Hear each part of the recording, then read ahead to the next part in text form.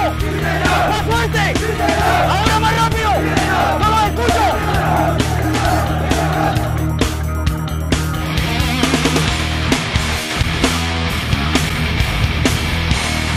Los comandos anfibios están entrenados para una guerra regular. Su preparación se realiza por etapas. Las más difíciles son buceo táctico y demoliciones submarinas, en las que uno de cada cinco hombres no pasa las pruebas.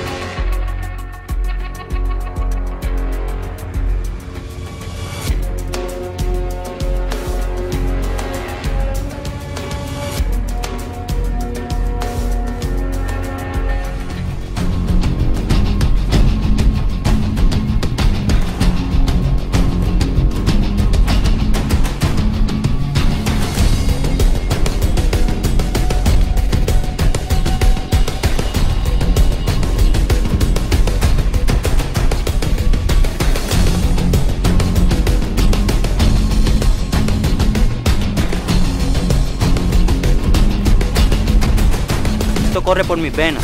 Con honor, servirle a la patria.